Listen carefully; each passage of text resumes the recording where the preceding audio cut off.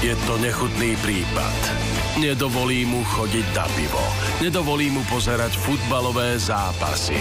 Musí neustále vynášať smeti a jej kupovať darčeky. Netýka sa to vôbec tohto prípadu. Ja hovorím o svojej žene.